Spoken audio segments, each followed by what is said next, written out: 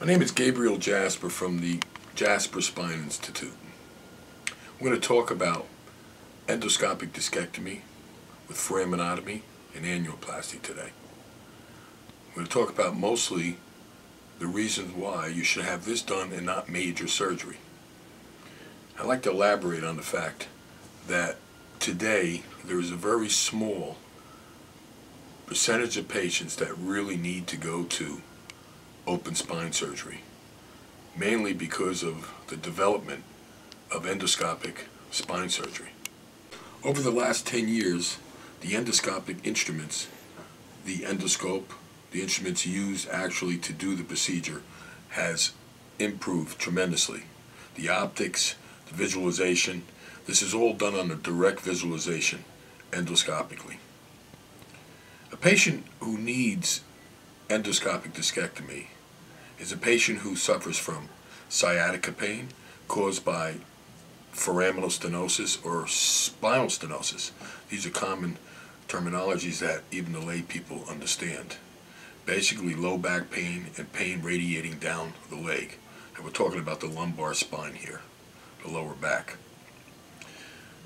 I did a little drawing myself to facilitate the understanding of endoscopic discectomy for the patient. When my patients come into my office and they get to the point where they need endoscopic discectomy, I drew these pictures to make it easy for them to understand what's going on. For example, this is a patient who has most commonly a herniated disc, bone spurs, and this is a neuroforamina. This is a part of the spine where the nerve comes out of. To understand it even easier, here's the spine, and here is the nerve that comes out of the neuroforamen. It's actually the hole where the nerve comes out of the spine. That's called the neuroforamina. And the nerve is called the exiting nerve root. We also have in the central part of the canal the traversing nerve roots, spinal cord. When you have central canal stenosis, it can put pressure in that area. These can all be treated endoscopically. You don't need major spine surgery to treat this. It's all about physics. It's all about mechanics. If you have a nerve that is being pinched, like this nerve here, by a herniated disc, the patient doesn't need a fusion. All you need to do is remove that herniation. Has put pressure on that nerve. The nerve pressure is relieved. The patient feels good. Very simple. This is not rocket science, and this is what I tell my patient. Mechanics, physics, pinch nerve. Unpinch the nerve, the pain goes away. Very simply. This is a pinch nerve, which is red, herniated disc, and bone spurs. Of course, if you're a younger patient, you're not going to have bone spurs. You're going to have a pinched nerve pushing the nerve up against a bone, pinching the nerve, causing sciatica pain, back pain. What I do is I make an incision. Here's the size of the incision. It's less than a half inch long, approximately four millimeters. Very small. I make the incision. After I make the incision,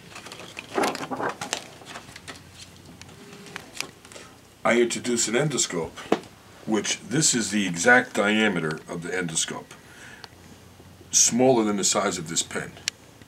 Introduce it into that small incision that I made. I can actually see that herniation on a very large high definition monitor TV screen. Under direct visualization, I introduce instruments through the working channel. I can see the instruments through the camera I see the herniation, I grab the herniation, I pull the herniation out. Once I pull the herniation out,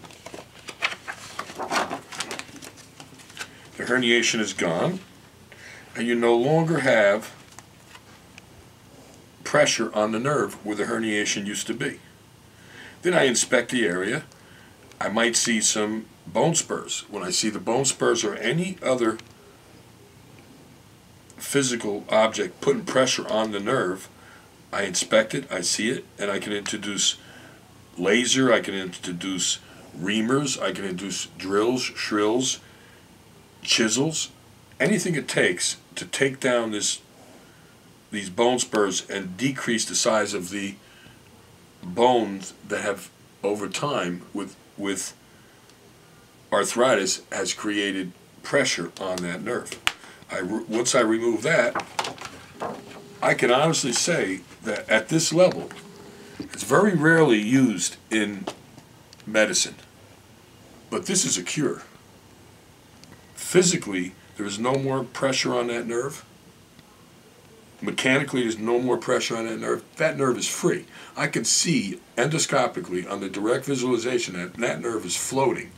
It's pulsating with the heart. It's pulsating with the respiratory. This nerve is free. The, the procedure is done.